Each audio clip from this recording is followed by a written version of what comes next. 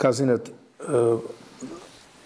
nu, viņu dažādi sauc par robežu grozīšanas reformu, pašvaldību vai, vai, vai administratīvu teritoriālā reforma. Viņa gan nav nekāda administratīva teritoriālā reforma. Faktiski tā ir pašvaldību robežu grozīšanas vai pašvaldību apvienošanas pasākums.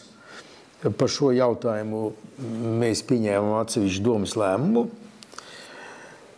kurā doma konstatēja, ka valdība nav ievērojusi tās procedūras, lai pieņemtu šādu lēmumu par pašvaldību robežu grozīšanas, nav ievērojusi nepieciešamās procedūras, kādas šim procesam būtu jānotiek.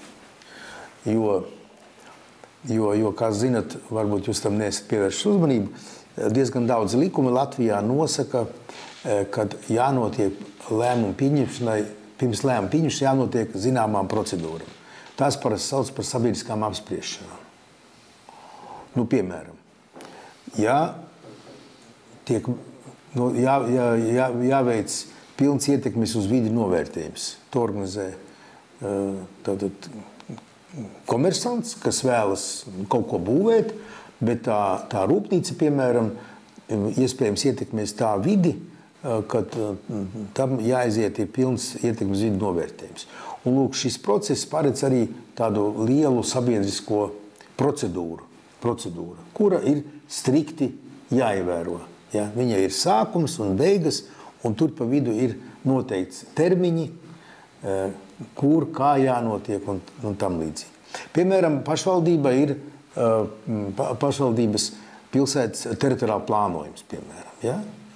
Un, tad viņš tiek izsludināts, un tad ir procedūra, kamēr jūs nonākat līdz gala, gala lēmumam. Ar, lai ievērotu visu procedūru, piemēram, pilns ietekmes vidu novērtējums, tāpat arī kā teritoriāla plānojums, apmēram vajadzīgs gads. gads ja? Lai jūs ievērotu vis, visas noteiktās procedūras. Ja, piemēram, pilsētas attīstības plāns, arī tur ir sabiedriskā apspriešana, arī tur jāievēro procedūras. Un, un tādi, tādi ar likumu noteikti lēmumi, kuriem ir jāievēro procedūras, faktiski ir visos būtiskajos lēmumos. Visos būtiskajos lēmumos. Nu, lūk, savukārt šādā būtiskā lēmumā kā robežu grozīšana pašvaldību, šīs procedūras vispār pieņemtās demokrātiskā valstī procedūras nav ievērotas.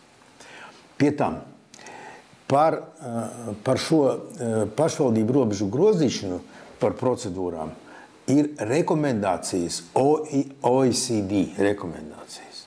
Jūs diezgan bieži dzirdat, ka vajag ievērot OECD rekomendācijas. Es laikam neesmu paņēmis līdzi, es nākošā preses konferencē parādīšu. Viņas arī ir iztulkots. Tur ir tāds diezgan biezs dokuments.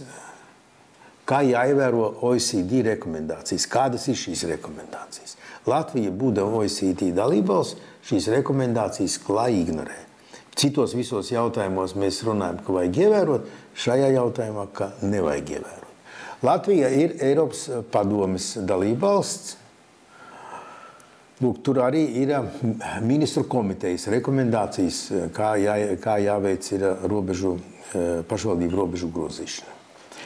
Nu, lūk, un līdz ar to pašvaldība šo lēmumu fiksēja, fiksēja šos te pārkāpumus, un tas bija nepieciešams priekš tam, lai mēs varētu tālāk iet tiesisko ceļu un apstrīdēt, uh, apstrīdēt uh, likumu, ja tāds tiks pieņemts par pašvaldību robežu grozīšanu. Ja tāds tiks pieņemts.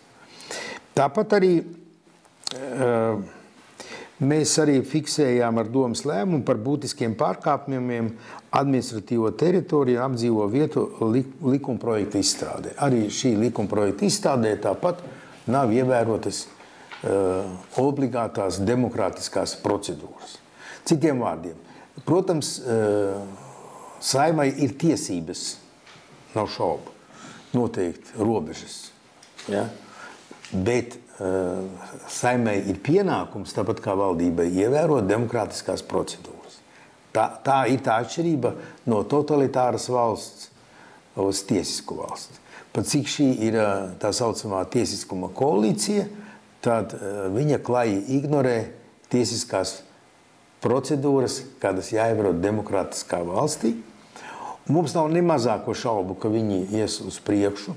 Turpat ir izvērsies tāda situācija, tā vides, vides un reģionālās attīstības ministrijā, kad atbildīgais ierēdnis, valsts sekretāra vietnieks par šo administratīvo teritoriju grozīšanu, administratīvu teritoriālo reformu, kā viņi paši sauc, iebilda par to, ka nav, netiek ievērotas šīs procedūras.